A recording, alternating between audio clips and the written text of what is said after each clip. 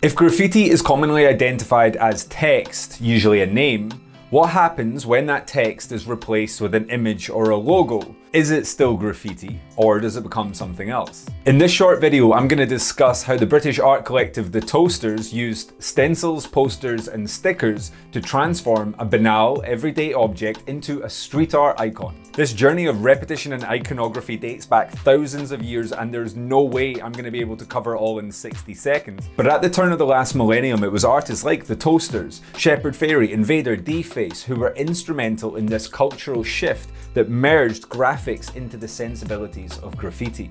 Even though everybody could recognize what this image was, nobody really understood what it meant. But through repetition, it was able to become absorbed into the landscape of British culture while simultaneously blurring the lines between graffiti and street art. Let me know in the comments who you'd like to hear me discuss next.